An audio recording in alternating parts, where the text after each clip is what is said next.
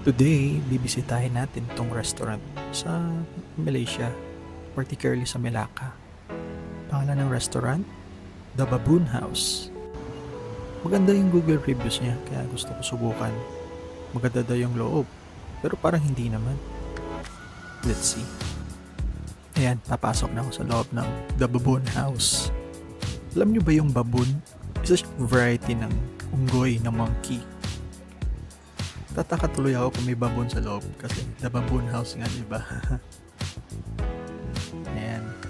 So, pag pumunta ka dito, kailangan may reservation ka or you need to fall in line para makapasok. Kaya ito, naghihintay mo na dito. Then, while naghihintay, ako parang kakaiba yung loob. Parang ang ganda ng pagkagawa. Hindi malayo sa labas eh. So, ito na nga. May table na ako. I went inside. Then, yun parang nakita ko na yung garden na sinasabi ng highlight nitong The Baboon House. Saan nga ba yung table ko? Ayun, yun yung table ko. So, yan, nag-isa na ako niyan. Ito yung view ng The Baboon House sa loob. As you can see naman, ayun yung branding nila. Tapos may garden sa loob. Parang nasa forest ka. Kumakain ka sa loob ng forest. Tapos may mga arts. So kung nakaka-appreciate ka ng arts at nature, magandang place nga to. At di ako na-disappoint. Ang ganda nga yung loob nito. Ang concept kasi niya is parang forest.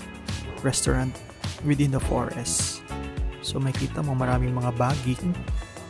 Tsaka yung roof deck. Ayan. May mga vines. At nandito yung logo nila. The Baboon House, Malacca. Ito yung view nung table ko. Pero explore natin yung loob kasi di ba sa labas parang maliit lang itong restaurant pero malaki pala siya. Actually pahaba. So ayan, meron pa silang isang deck na may garden. Tapos yan, maraming customers. So check natin yung menu nila. Ayan, The Baboon House is famous for its burgers. As you can see naman yung menu nila. Maraming selection ng burgers.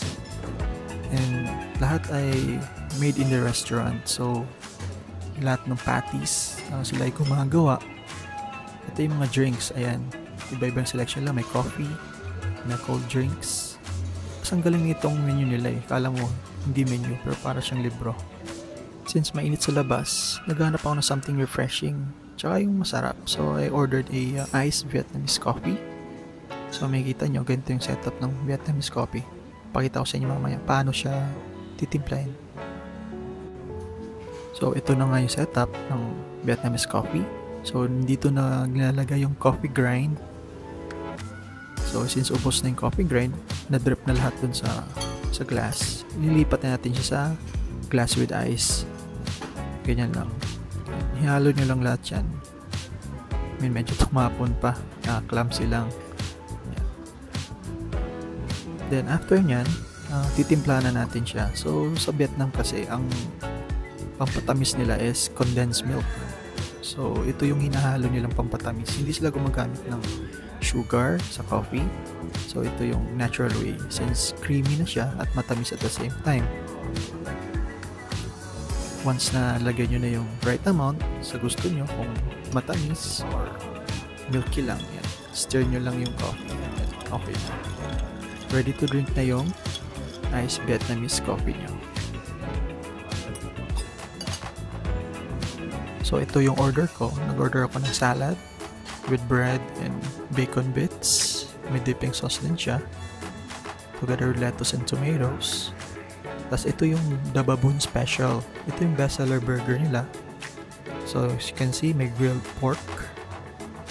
Tapos may uh, beef patties. Ayan, meron na rin siyang uh, potatoes on the side. Tikman natin yung salad. So, ito yung bacon dip natin sa sauce. Yung sauce niya parang soy sauce na matamis. Sakto lang, okay naman yung lasa. So ito, try naman natin yung burger. Uh, yung Dababoon Special na tawag nila. As you can see, compose siya ng yan, beef burger with uh, grilled pork. May bacon din, cheese. Tapos yung buns niya, may nuts and sesame seeds. Yan, nakakagutom.